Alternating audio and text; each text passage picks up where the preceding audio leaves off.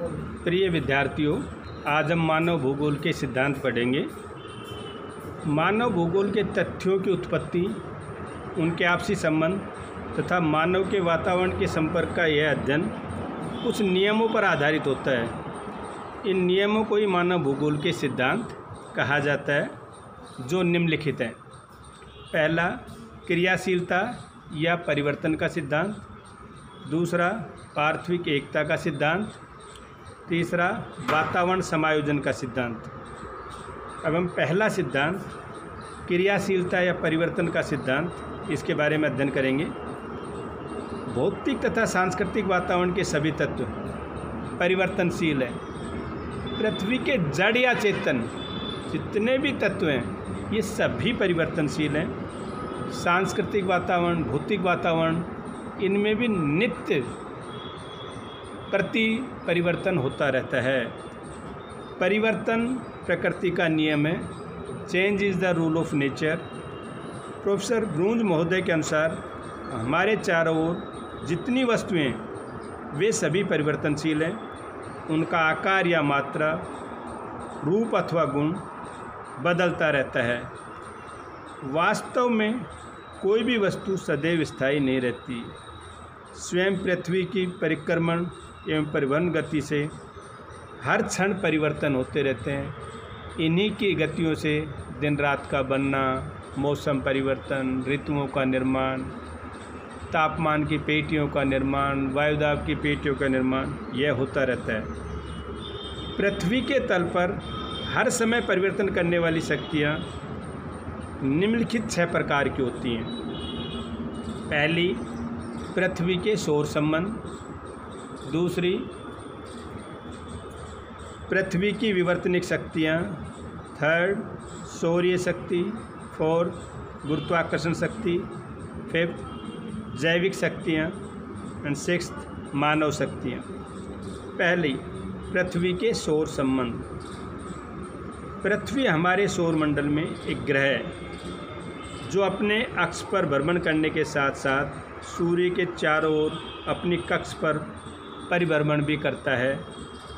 इन सौर संबंधों के कारण ही पृथ्वी पर दिन रात बनते हैं, ऋतुएँ उत्पन्न होती हैं, ताप की पेटियों का निर्माण होता है, वायुदाब की पेटियों का निर्माण होता रहता है।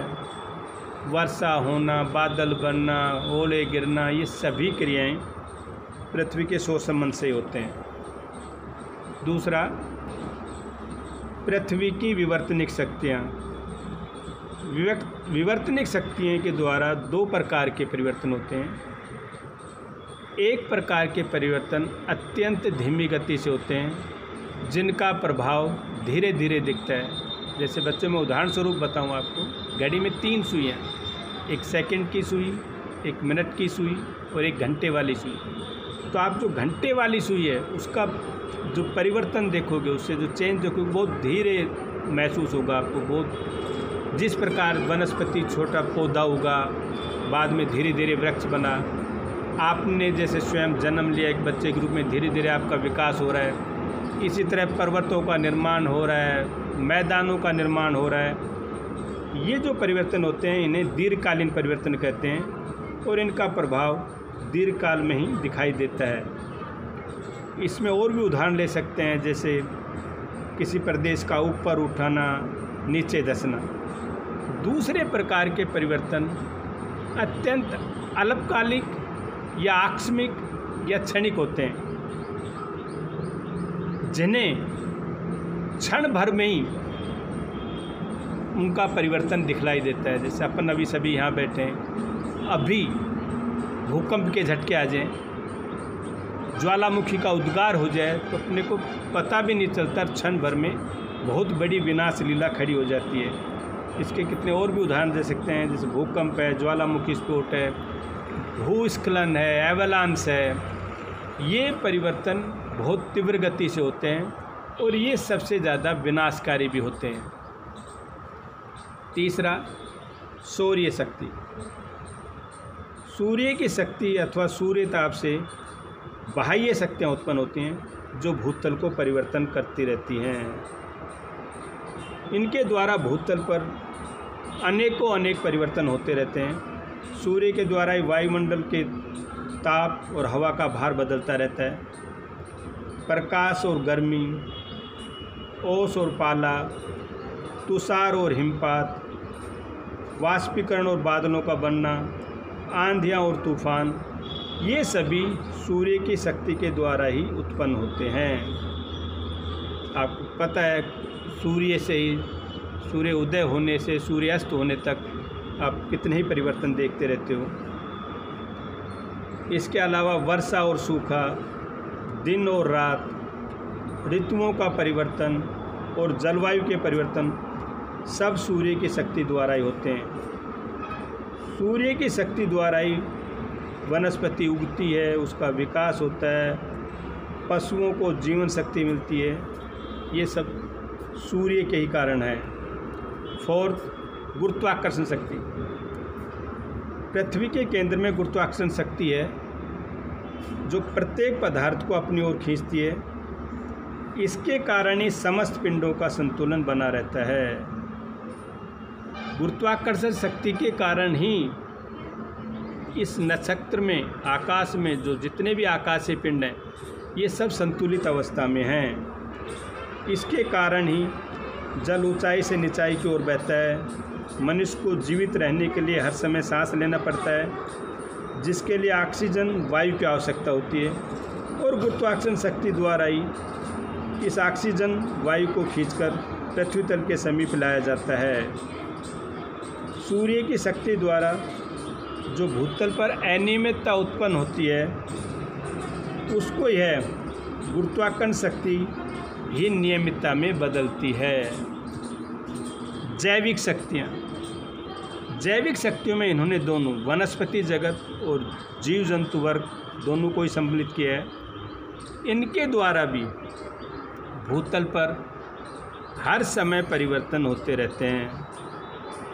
वनस्पति सेलों को आवरण प्रदान करती है, जिससे अपर्दन कम होता है। लेकिन कई दफ़ा वनस्पति की जड़ों द्वारा ही सेलों को विदीर्ण करी जाती हैं, खंडित करी जाती हैं, जिससे अपर्दन बढ़ जाता है।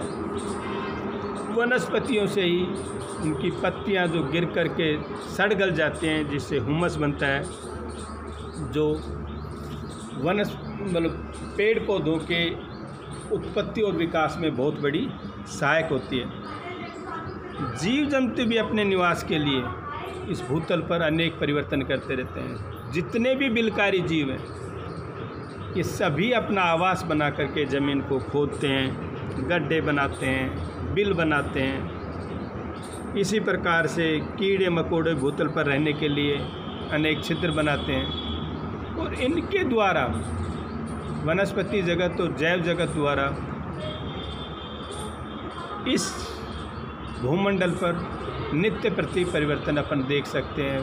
वनस मतलब जैव जगत है, वो वनस्पतियों का क्षरण भी करता है।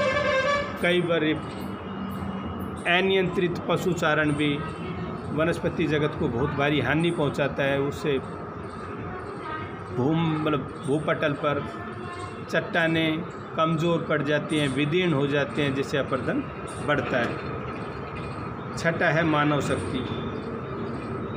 मानव ने जब से ही जन्म लिया है, यह इस भूतल पर अनेकों अनेक परिवर्तन करता आया है। मनुष्य भी भूतल पर परिवर्तन करता रहता है। कहीं पर है, वनों को काट काट कर खेत बना लेता है। कहीं पर जंगलों को साफ़ कर कर के खेत बना लेता है।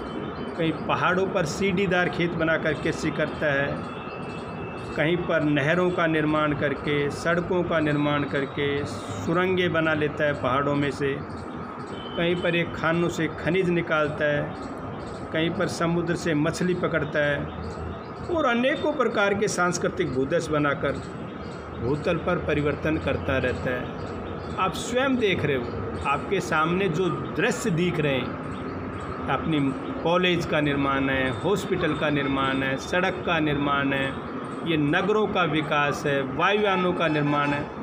जितने भी आपको सामने ये दृश्य दिख रहे हैं, जो विजिबल हैं, ये सब मानव द्वारा ही बनाए गए हैं।